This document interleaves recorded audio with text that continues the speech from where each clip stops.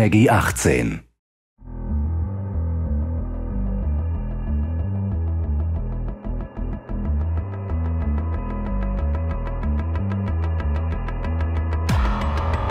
Okay, Anfänger. Du hast die Grundlagen des Guerillakampfs gelernt, aber ich sage dir jetzt, warum wir kämpfen und wie wir diese Stadt Zone für Zone zurückerobern werden. Die rote Zone ist der zerstörteste Teil von Philadelphia, aber sie ist auch der Ort, an dem der Widerstand Fuß fassen konnte. Es wird nicht glanzvoll.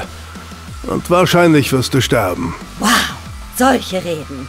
Und wir haben den Krieg trotzdem noch nicht gewonnen? Zwischen den zerbombten Ruinen und verlassenen Straßen sind unsere Guerillataktiken im Kampf gegen die KVA besonders wirksam. In der roten Zone greifen wir strategische Wachposten der KVA an. Wenn wir sie erobern, wendet sich das Blatt zu unseren Gunsten. Unsere Kontrolle über die Zone wird gestärkt. Wir bekommen Zugriff auf weitere Unterschlüpfe und erhalten mehr Vorräte und Ausrüstung.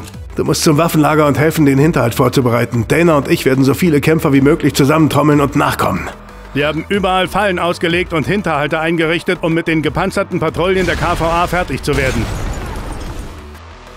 Aber vergiss nicht, dass die KVA die rote Zone permanent mit ihren Luftschiffen überwacht. Lass dich nicht erwischen. Die rote Zone ist eine Spielwiese für Scharfschützen. Du musst sie ausschalten, bevor sie dich ausschalten.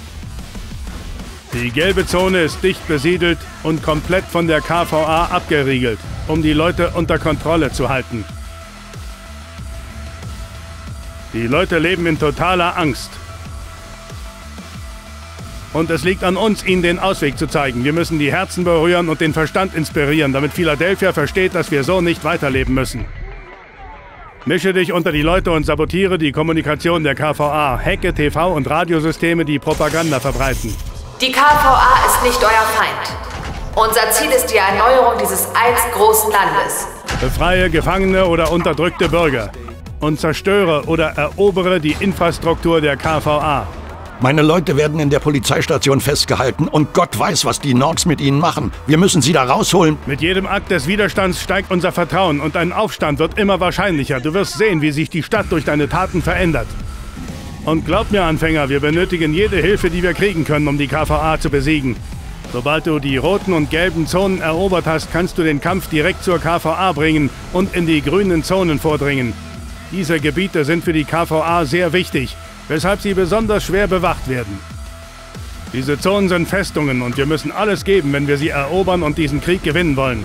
Du musst von deinen Missionen lernen, sonst ist jegliche Hoffnung in dieser Hölle verloren.